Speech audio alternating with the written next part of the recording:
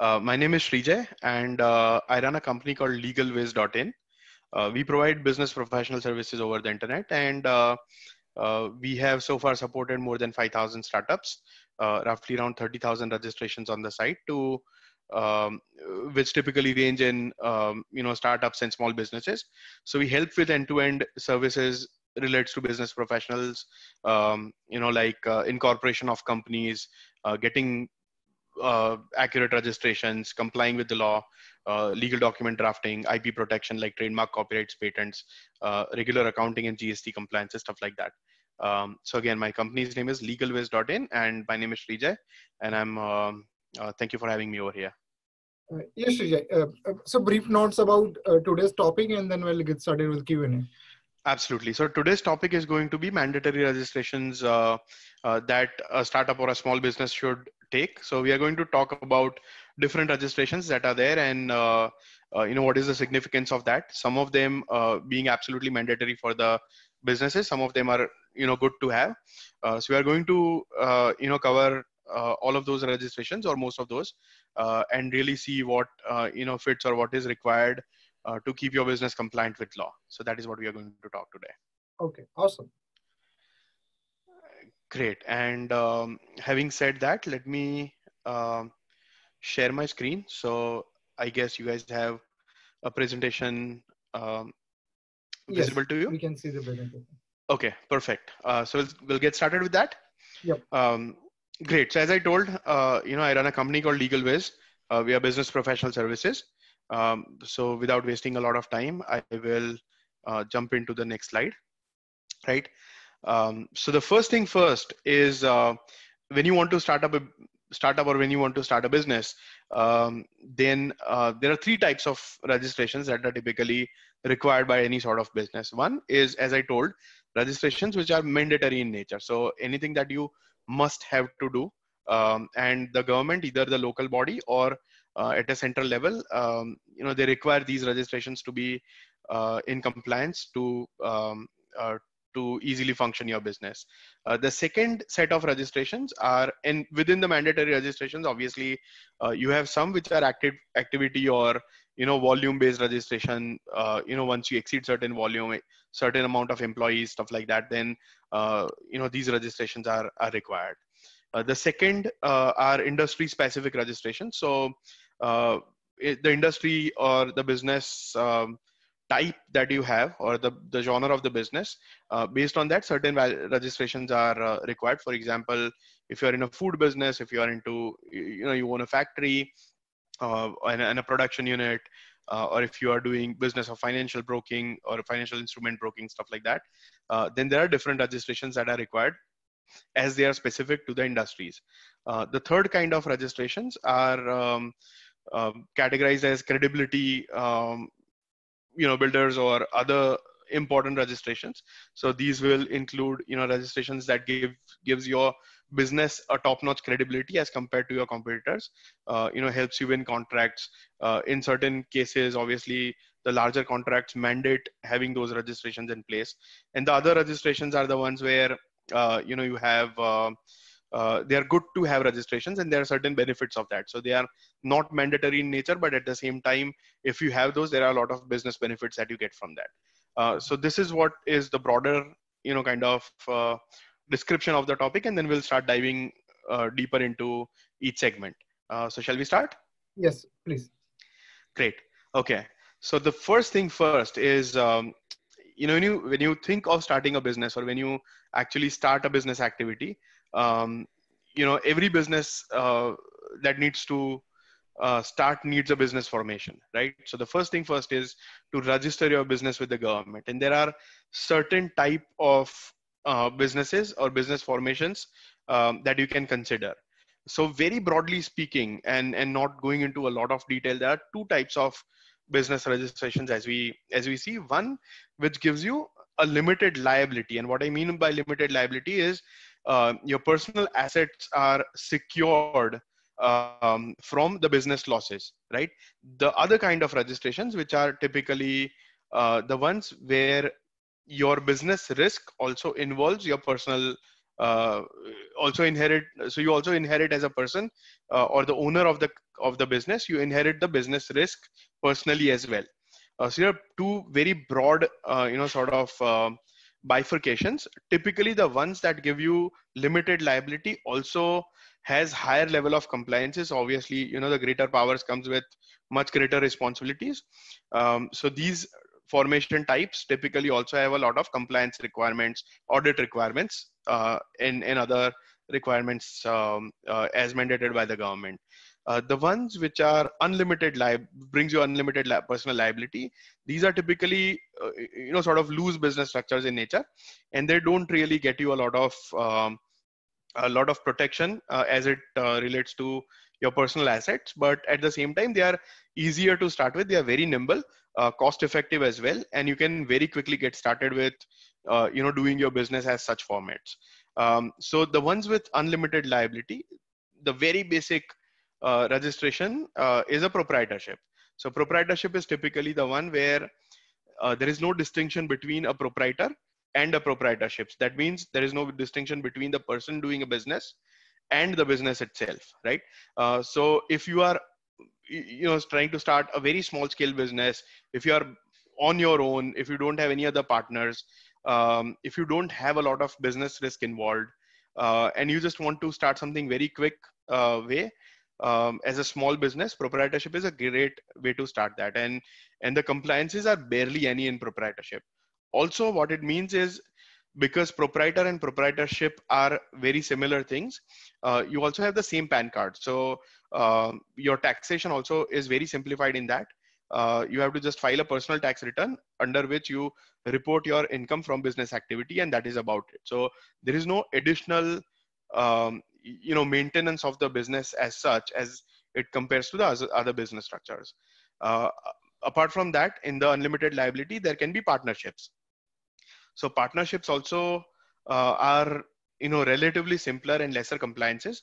Uh, but if you have more than one business owner, so if you have partners in the business, you can start a business as a partnership, uh, which can either be registered or unregistered. There are definitely clear advantages of getting a registered partnership because it is registered with the government body. It gives you a lot more uh, you know sort of assurance over your partnership deed which defines your roles and responsibilities of the partner an unregistered partnership uh, is something where uh, you know if you have any disputes later then uh, it can get into a little messier situation so if you are opting for a partnership i would highly recommend that you get a registered partnership um, on the flip side if let's say you are a very aggressive business uh, you have some business risk involved. You want to scale your uh, business uh, you know much larger if you if you want to include other outside investors because investors also look at limiting their personal risk uh, by investing in the business. Typically a limited liability structure is the one that you would want to go to. Also okay. most sorry go ahead uh, there are a couple of questions. Probably you finish that part and then we'll take up those questions. Absolutely. So within the limited liability structures, um, a, a, bridge between a company and a partnership is called a limited liability partnership, which inherits a lot of good advantages of a partnership, but also at the same time covers your personal risk. Um, limited liability partnership typically also is um, based on a partnership deed. And so there are clearly defined roles and responsibilities. Uh, versus a private limited company has a clear distinction between the owners and the management of the company. So the owners of the company are defined as share capital, whereas the management of the company is defined as a director uh, ship in the company, right? So, uh, so if you want to kind of have an arm's length distance uh, within the management and ownership, if you want to, uh, you know, sort of issue employee stock options, if you want to onboard venture capital fund, then typically a company formation is um, is um, uh, is recommended. Uh, also, if you are only so typically a company formation requires at least two directors and two shareholders.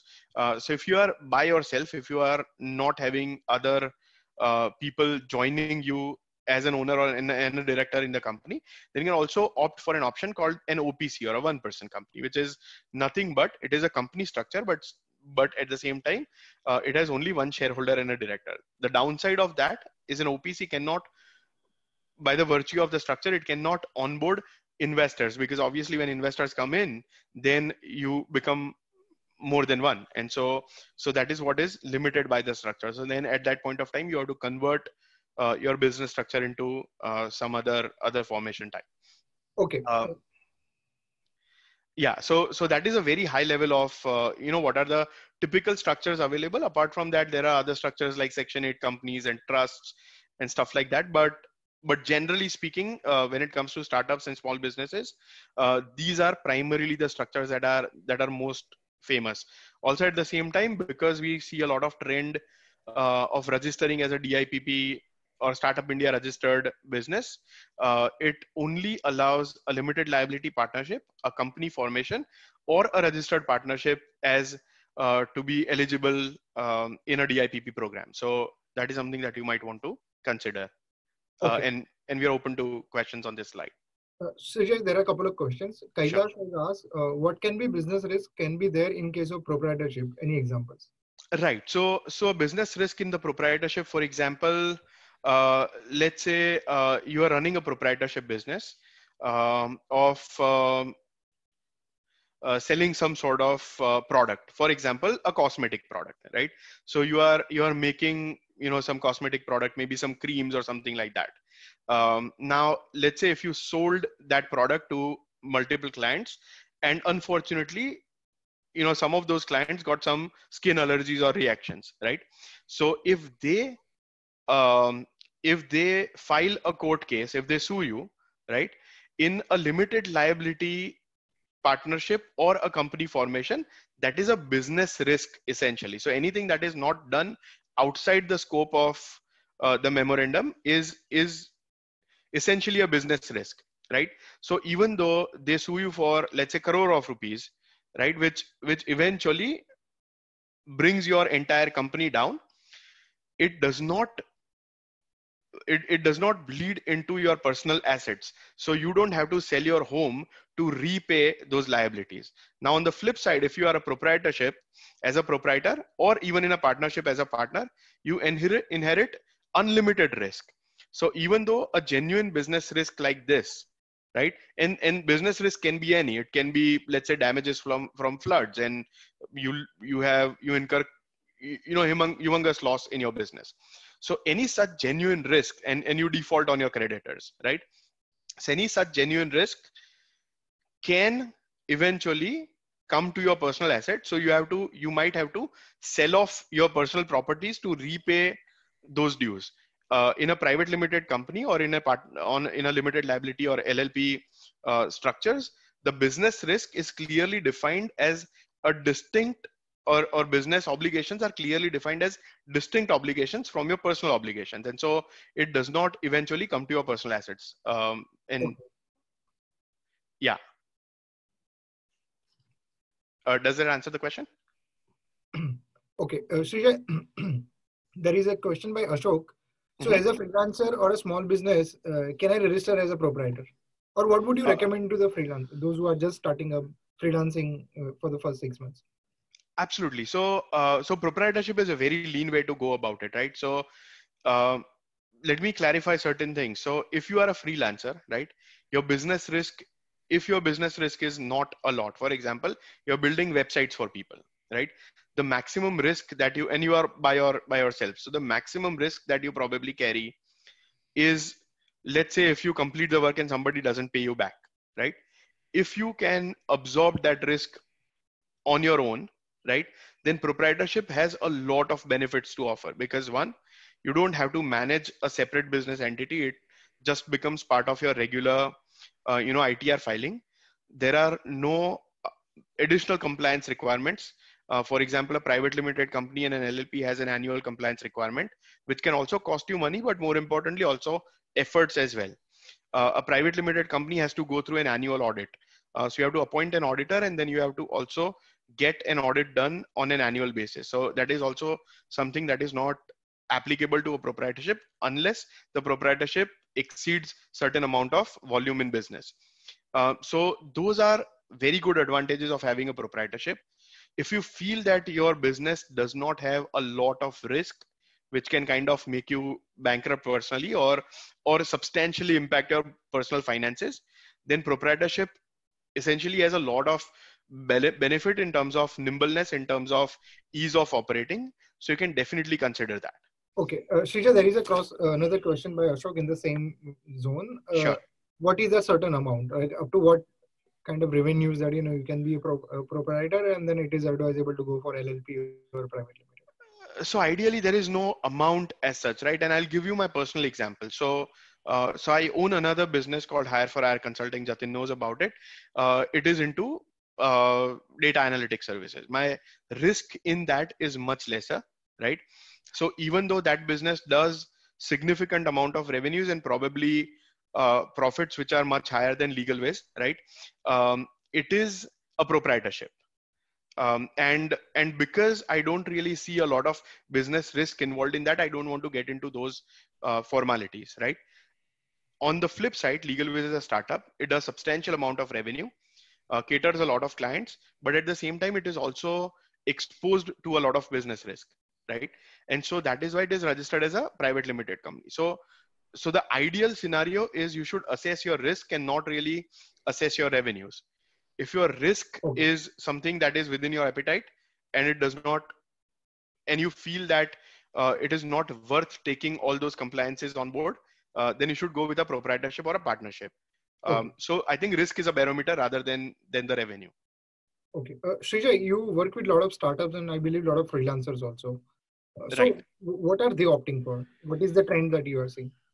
Uh, so a lot of startups tend to opt for a private limited company. Uh, the primary reason is a lot of those also want to get into enrolled into DIPP program or uh, incubation centers and stuff like that. So so when it comes to government grants, when it comes to uh, you know raising finances, when it comes to onboarding third party investors, um, when it comes to issuing employee stock option uh, you know employees ESOPs, uh, a private limited company structure is much favored. Also, if at all you are trying to onboard any third party investor, they would never invest in an unlimited liability.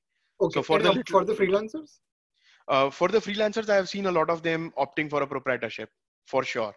So so if you have a freelancing business, uh, you know which is small in nature, you can always opt for a proprietorship. Also, when your business gets to uh, you know certain um, value, then obviously you have an option to kind of convert that business into uh, a better structured or organized uh, business structure. Uh, okay. So that option is always available to you as an entrepreneur.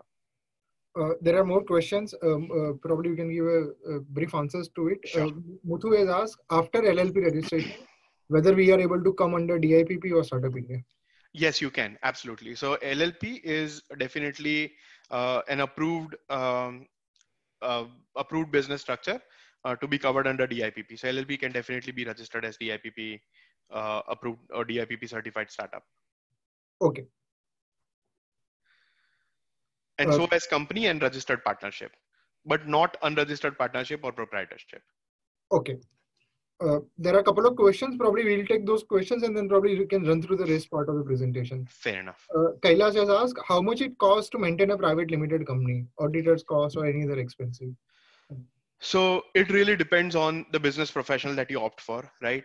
Um, very genuinely, uh, the cost really differs in the market. If I talk about LegalWiz, uh, I would say to run an end-to-end show, uh, you would probably be shelling off anything uh, in the range of uh, 20 to 30,000 rupees every year, uh, which includes, you know, your annual maintenance of the company, you know, your accounting, bookkeeping, um, you know, your your annual filing for the company and stuff like that. So, so typically that is what you are looking at. Uh, again, it really, I mean, the business professional market is um, is very diverse.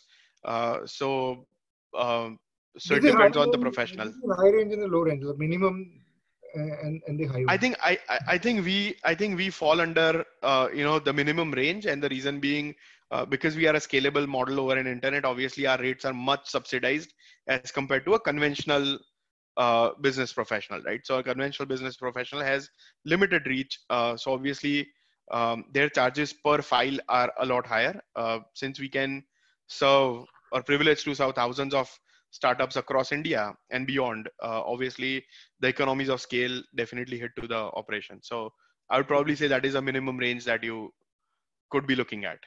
Okay, so there are a couple of more questions by Kailash and Jay Shriram. Uh, probably we'll take up those. You can just quickly run through the other part of the presentation and we'll get uh, started with the Q&A part again. Perfect. Absolutely. Uh, so let's talk about the mandatory registrations, right? So the first and the second one, which is the PAN and TAN, uh, or uh, known as permanent account number and tax deduction collection account number. Uh, these are mandatory and typically they come with a business formation. So if you are registering a private limited company, uh, registration of a PAN and TAN uh, is an inclusive part of uh, the service for the most part. Um, right your pan number is you can think of that as a passport for the business right so it gives you an identity it gives your business rather an identity as i mentioned in a proprietorship because proprietor and proprietorship are the same your pan number also remains the same.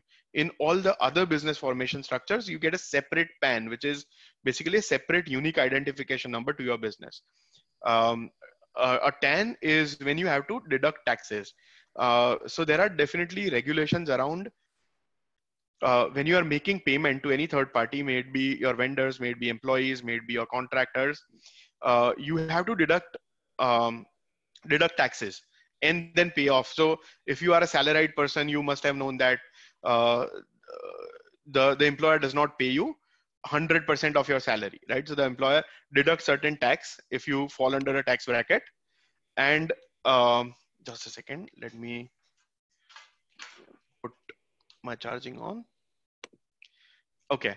Um, so they um, yeah sorry. So so they deduct certain taxes right? So then so it becomes it becomes um, it becomes a liability of the business to deduct taxes at source. Uh, and once you deduct those taxes, you also have to um, submit those taxes with the government. And that is why uh, the TAN number is required. And also um, uh, you have to, uh, whatever the TDS returns are, you have to file those returns. Okay. Uh, so, so those are the. Srijay, in that, there are a couple of questions that people have. What are the minimum documents required for that? And typically, how long is the process? Right. So the minimum requirement for documents is um, uh, is your business document. So you need to have uh, uh, your business registration address, uh, right? So because it is part of the company incorporation itself, so I'll go through the documents which are required for registering a company.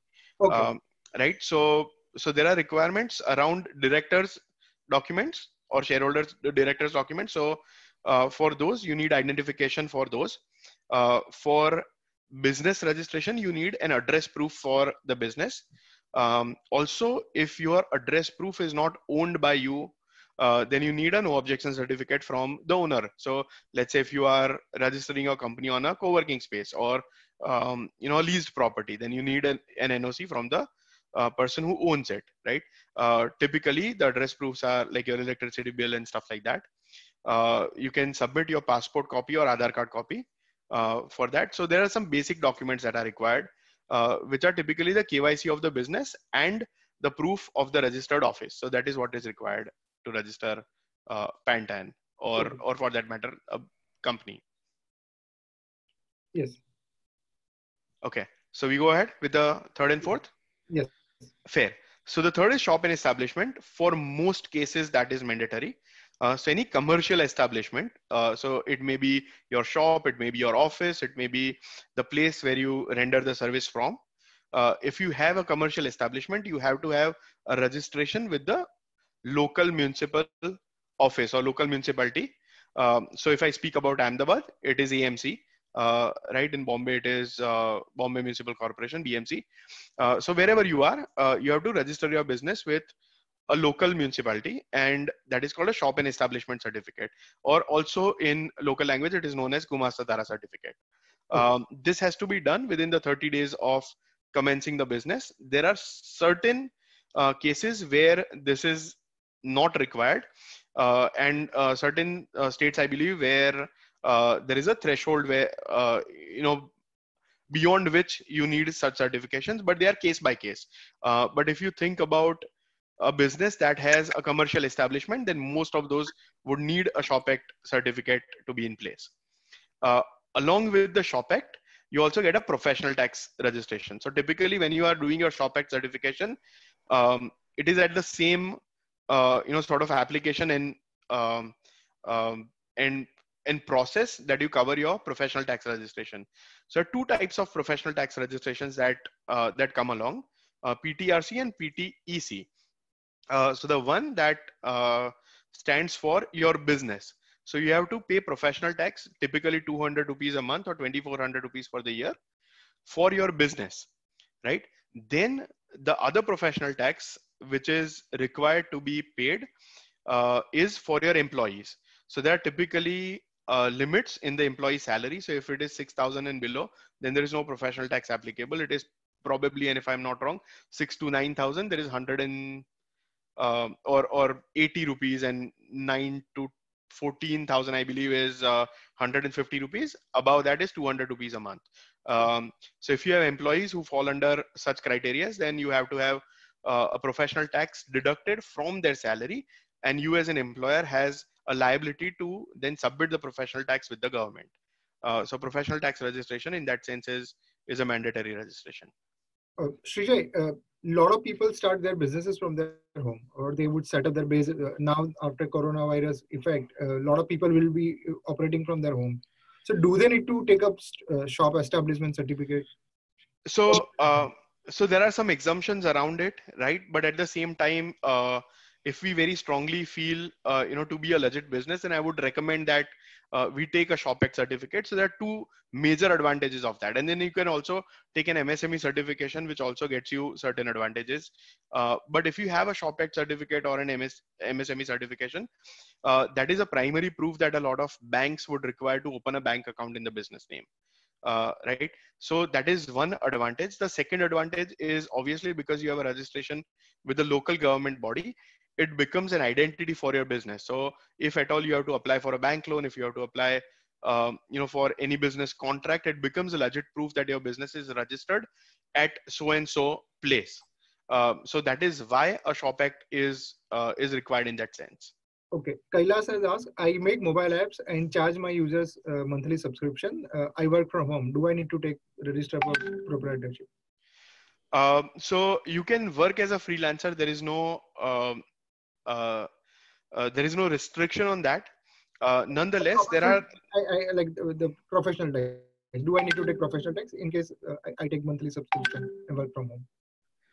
So if you are if you are generating that as a business income, and if you have your business registered um, you know in any any of the form and format then you do need to take a professional tax certification uh, if you're just working as a freelancer then probably you might get exempted from that uh, but ideally uh, there are so there are a couple of nuances, right? One is uh, if you have um, if you are already working as a full-time uh, employee somewhere and then you are doing a freelancing work on the side, uh, right? Which is a very typical case scenario. I don't know if that applies here, but that that's what's been seen as a very typical case scenario. Uh, in that case, what happens is your employment contract might risk or might limit you from working as a freelancer, right? Um, so some people, how they structure that is uh, they open a proprietorship, um, you know, in um, uh, under their family's name or capacity if they work on on that and so on and so forth, and they just provide a like non uh, economical or financial help uh, to that proprietorship. So, so that could be one way out. Again, it is a very gray thing, so I don't really encourage that. Um, but definitely, you can work as a freelancer. Um, ideally if you want to make that a legit business then i would definitely recommend uh, you know registering that as any form of the business uh, structure for sure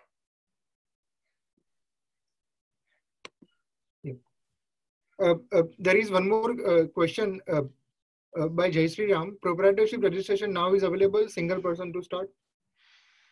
Proprietorship registration typically means that you are a single person to start, yes. Uh, and you can always have employees in your proprietorship. That is also fine.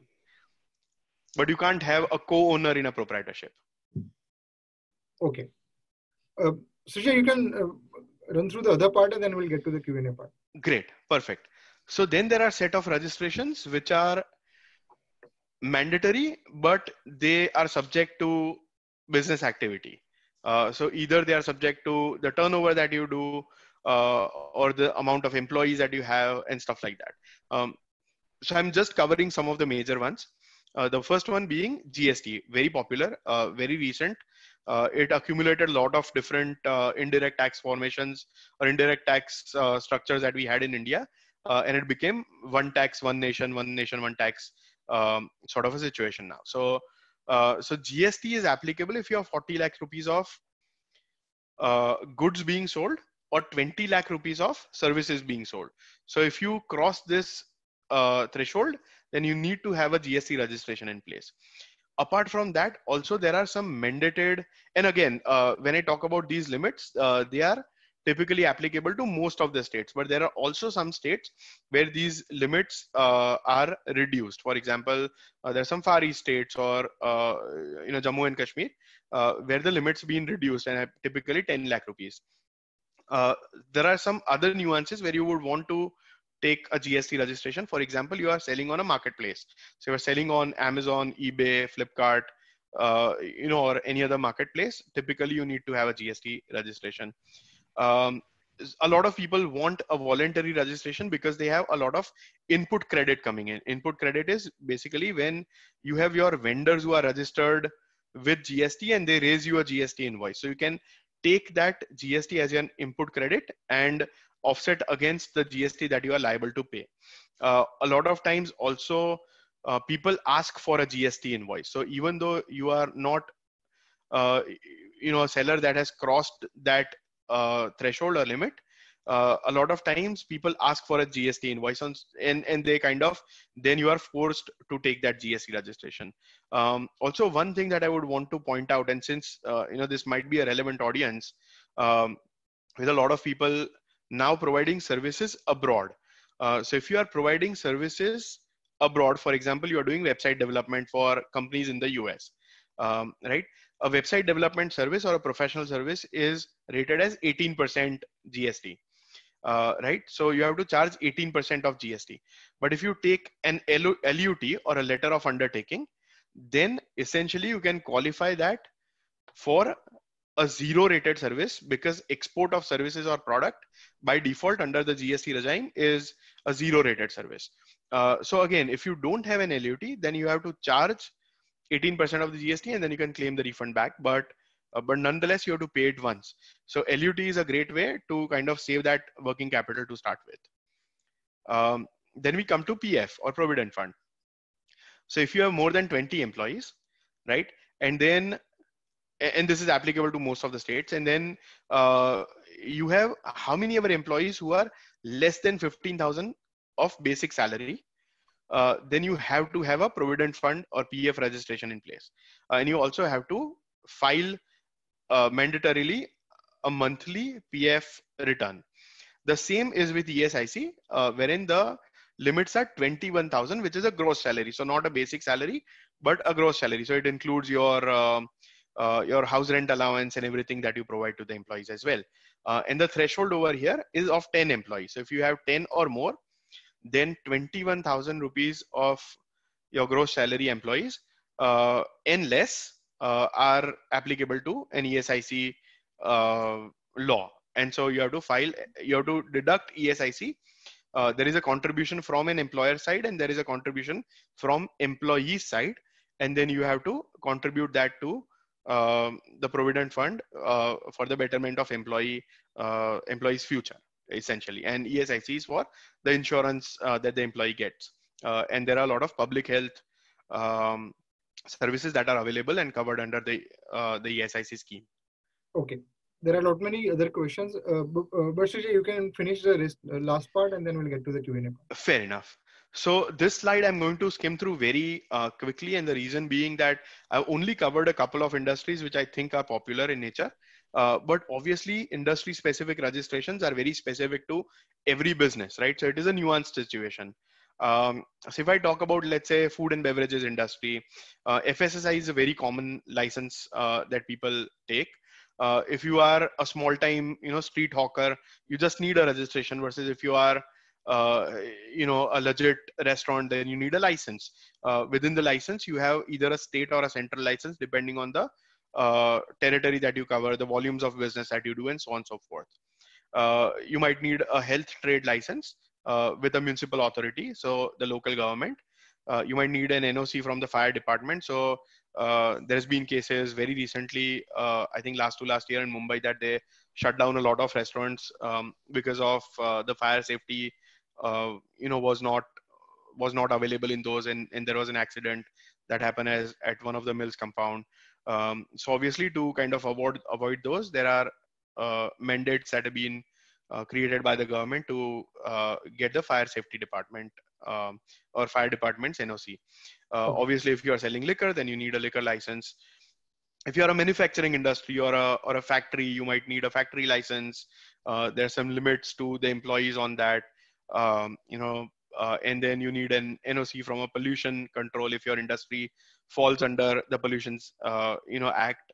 Uh, if you are a chemicals industry or those sort of industries which are bound to create some amount of pollution, you obviously have to comply with those restrictions and laws as well.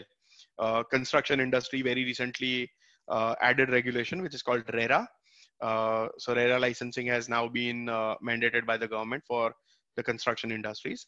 and, and apart from that, depending on whether you are in banking, stockbroking, import, export, uh, you know those sort of industries you might need licenses from rbi you might need licenses uh, or you might need approvals from fema if you're into um, uh, you know like foreign exchange and stuff like that. So so depending on what kind of what kind of industry you are in uh, typically the licenses requirement will vary. And uh, so ideally uh, i would recommend to uh, get in touch with a right professional um, to figure out what is required uh, to keep your business compliant. Because being compliant is definitely a lot of you know peace of mind and helps you save a lot of penalties.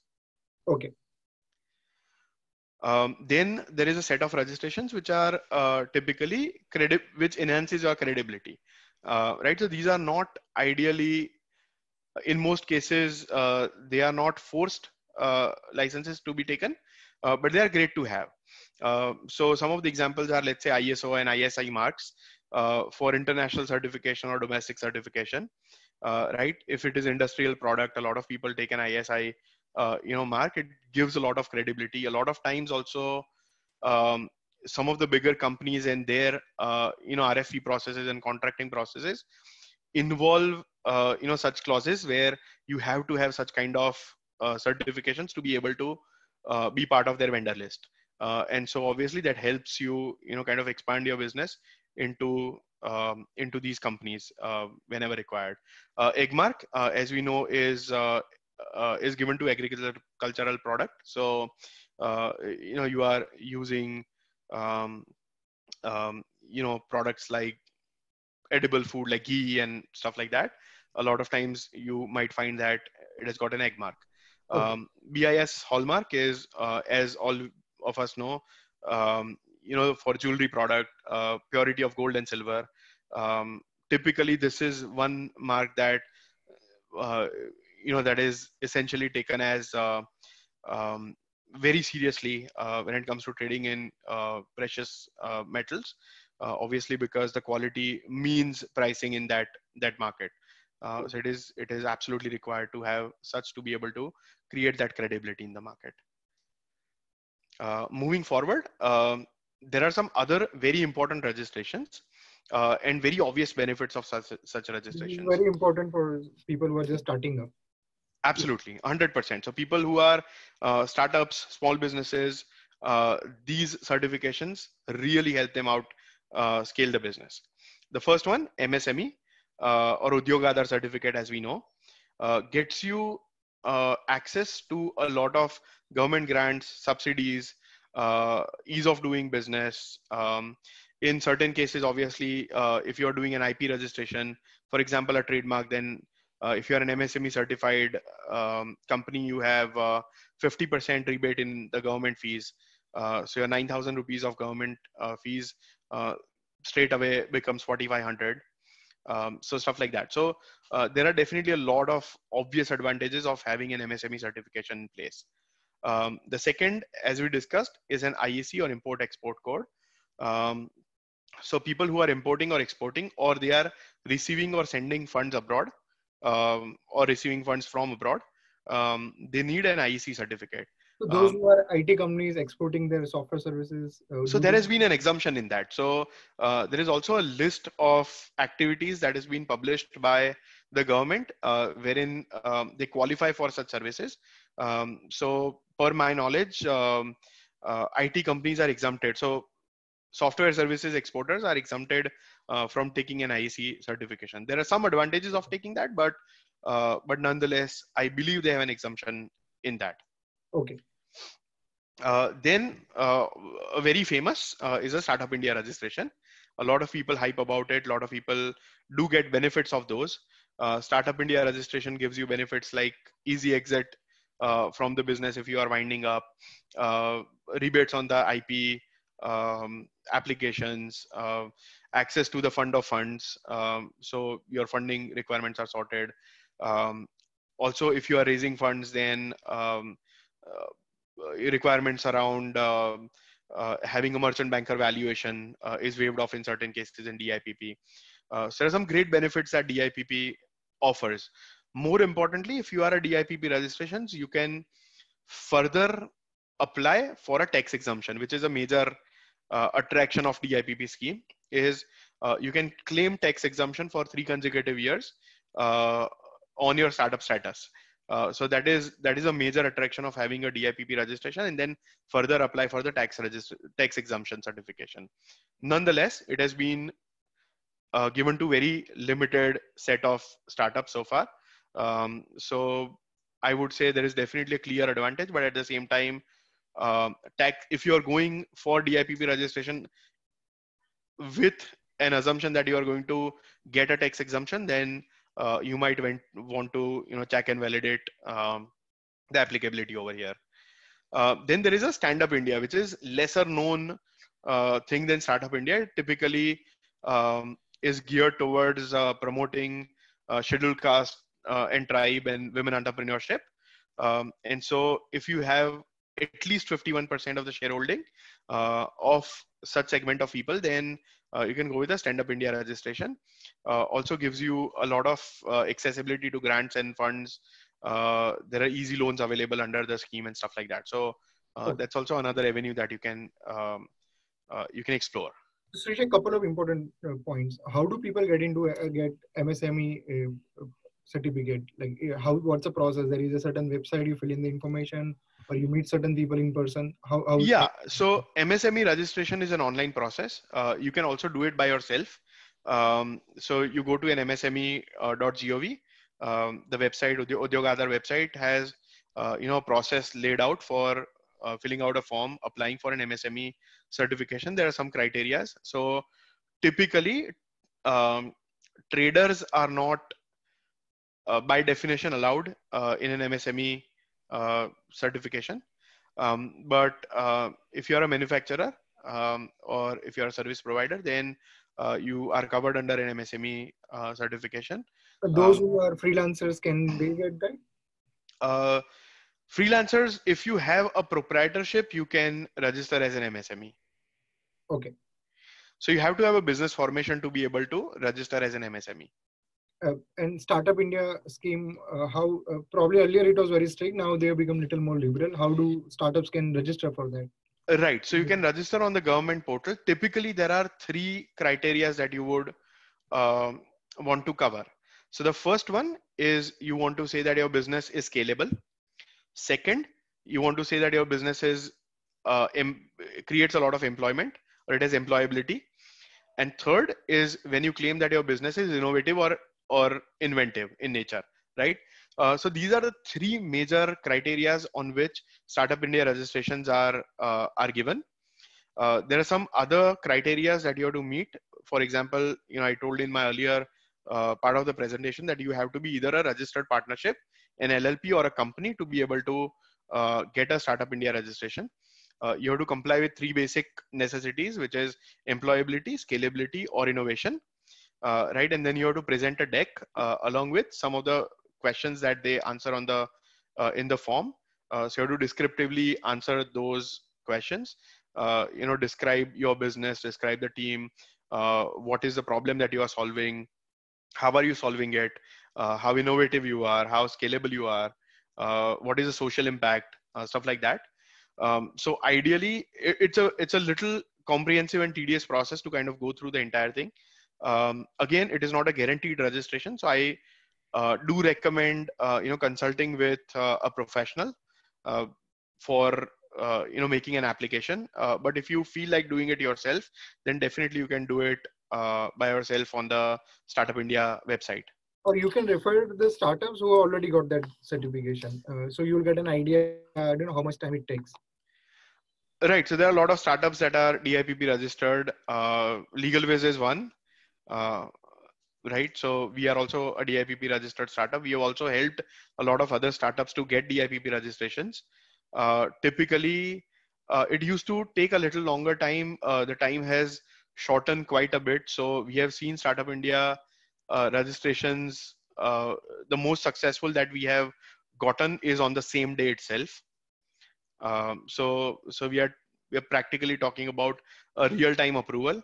Um, to it has also been the process where some of the startups have been stuck, uh, you know, for days, if not months, uh, into an approval process, and there has also been a lot of ask for resubmission and additional information, stuff like that. So, that okay. is why also i recommend uh, you know doing it right the first time and uh, actually uh, engaging a professional who has done it for multiple clients awesome uh, Srijay, you can stop the screen share so we can see you the larger version of you perfect uh, last five minutes of the discussion there were a couple of questions but if you have any questions you can ask in the comments uh, uh, uh, Kailash has asked uh, if by chance a private limited company doesn't do good, how tough it is to close it. Uh, uh so it's it's very tricky, right? Uh, so what what is your point on that?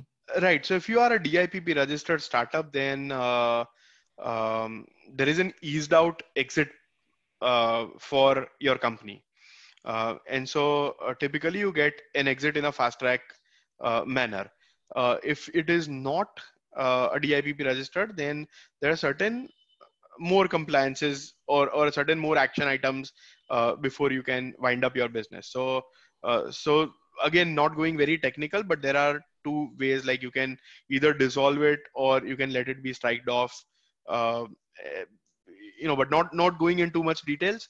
Uh, I would say it is not unless otherwise you have committed uh, you know fraudulent activity and you're stuck with that or you have a lot of baggage of non-compliance, uh, then it is not relatively it is relatively simpler to wind up your business in India. Uh, but if you have a lot of compliance burden, um, then uh, you have to go through the compliances before you can actually uh, wind up the business. So that is why also it is very important. And probably in some um, future sessions, we will uh, discuss about what are the advantages and why should you be always compliant with law. Okay. Uh, there are uh, Nishant has asked a very good question. Uh, if, if there is a small business with certain, there are a few employees also. So so what do you recommend or what do they need like proprietorship or a one person company? So again, it really depends. I am not a big fan of one person company to be honest because it kills a lot of your flexibility. I would what I would rather do is if you are going a company route, then I would probably uh, allocate at least one share to your close family member uh, right, and make a regular private limited company than an OPC. Gives you a lot more flexibility to onboard, uh, you know, more people as owner in the future. Also, uh, you know, opens up a lot of other other avenues. Um, but a choice between a proprietorship and a company, I would really assess that based on certain advantages uh, that one formation type has over the other. For example, uh, compliance, right? Heavy on private limited company, very low on proprietorship. Unlimited liability, very high on private on proprietorship, very low on private limited company. Um, uh, the distinction between the management and the ownership is uh, it is absolutely tightly binded and coupled in a proprietorship. Um, very good arm's length distance between the two in a private limited company. If you want to onboard an external funder like VCs or angel investor, obviously proprietorship is out of question. So you have to go with a private limited company or an LLP. Okay. If you want to provide ESOPs to the uh, to the employees, then also private limited company is the only option. So so depending and, and then also I can probably in the thread I can put a blog uh, that we have on the uh, on LegalWiz's website uh, that kind of clarifies the differences between uh, certain business structure. So definitely more than welcome to read through that. Uh, but essentially, it is a it is an assessment based on multiple factors, and you pick what works out best for your business. Okay, Muthu has asked a very good question. Uh, many SaaS companies are registering in US or Singapore. What are the challenges to register India for SaaS or doing business here? Uh, so typically, uh, there are two primary um, motives to register offshore. One is a tax advantage. Uh, so as you know, certain uh, countries uh, have their tax havens, right? Or they have a lot of tax advantages. So a lot of people go to Singapore, a lot of people go to uh, Dubai, uh, you know, RAK, free trade zone, uh, to avail those tax advantages.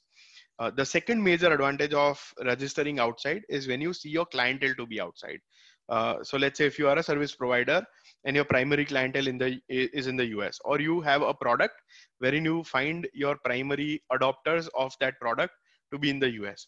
It makes a great sense for you to be a US incorporated company. Also, when it, when we talk about US, because you have an access to a global market, so it also gives you a better launch pad, uh, at least as of today. And obviously, we are evolving as an uh, as a country, uh, as a trading country, uh, very rapidly. So I would really hope that in future, uh, you know, we, we kind of bridge this gap. Uh, but as we speak today, obviously, you know, access to funding, access to larger markets, consumer markets especially, um, that is definitely in the countries uh, in the West, uh, very specifically US. Uh, so these are a couple of cases where you might want to consider your incorporation in the US. So, so or, uh, how does it work? So you have a company in uh, India, it does well. So you uh, register a company overseas also. So how does right. it companies work? They one becomes a subsidiary or totally? Yeah. So so what you could do, so you can structure it multiple ways. But a lot of people, what they do is they make one company a parent company and the other company as a fully owned subsidiary. Uh, of the uh, of the other company, right? The uh, company becomes the main company or the overseas. It, it, depends on the objective. It really depends on the objective, and and because uh, ease of doing business is at its prime in countries like US, um, right? A lot of times people opt for that to be a parent company. Uh, but again, it really really depends on on the nuances of the business that you want to cater. Uh, for example, very recently we are going through an incorporation uh, so by the way, LegalWiz also provides services to incorporate companies overseas. Uh, so we are we are taking one of the very primary uh, food uh, or fast food chain of Ahmedabad to US, right? So they are registering a company or they're registering an S corp in the US, and um, and what is happening is because they want everything to be governed from their Indian company, their Indian company will become a parent company, and then they own they own a subsidiary um, you know okay. in the us so so it really depends on how do you want to structure your business. Awesome. Uh, uh, typically we ask that in the beginning but still uh, we, we, were going through a very good momentum with the presentation. Which question was good and what reward they will get for asking the good question in the webinar that is a very tricky question because there are a lot of questions uh, if i recall um, do I have a reference list somewhere on what all questions were being asked? So, some uh, of you, are, uh, you probably joined us in the webinar. Uh, typically, at most of the eChai meetups, we ask our guests to announce the best reward for the best question, so that people ask good questions. Uh, right. So I'll, I'll answer the reward first, and then let's pick the question. Um, but if at all, and and I can probably go to the chat list to see some of the questions. Um, okay. So so the reward is. Uh, um, if you need any help uh, you know if, if anyhow i can contribute uh, to you know setting up your business structuring your business um, you know i can definitely offer um, you know either um, my time so uh, we can catch up over a cup of coffee if you are not in ahmedabad uh, we can do a zoom call. Um, i can help you in certain uh, aspects at least what i know. Um, yeah, if that, that is really right and if at all you need uh, you know let's say um, an msme certification for your business if you already have a business uh, i'm more than happy to do it for free. Okay well now pick the question. Um, so the question uh, that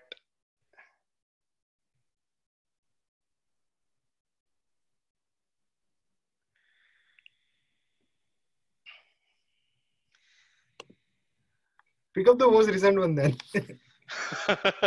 uh, yeah, I mean, most of them are, all of them are good, and uh, I'll I'll pick up the recent one, right? So we'll say, um, uh, SaaS companies, yeah. Yes. So Muthu, you get some reward from Srijay. Uh, uh, I'm not responsible for you getting it. eChai is just a platform for bringing people together. but Srijay seems to be nice person, so he should give this reward to you. Uh, awesome. Uh, so thank you so much, everyone. So basically, Tuesday evenings we will do uh, this simplifying legal for starters, where we will pick up a very specific legal aspect and do a webinar, which Srijay will be hosting. Today, just that I was hosting it.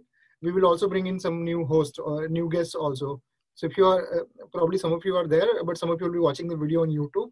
Uh, if you are a CA or if you are good at legal and if you want to be part of the guest, you can reach out to Srijay, who will be hosting this uh, Tuesday series with us. And tomorrow also we will have a investor series going on where every Wednesday evening we'll bring in some angel investor to share his or her experiences. With this, I'll end the uh, webinar. Srijay, any closing remarks from us? Uh, I think the closing remarks, uh, as it relates to the business, is uh, uh, you always stay compliant. Uh, it's a little cost, but a lot of peace of mind. so definitely never think that it is very complex or time consuming or expensive. it just turns out to be much better to stay compliant with law uh, I would encourage everybody a very sustainable growth. Um, so thank you for thank uh, having you me over here. Yeah. Thank and, you so much.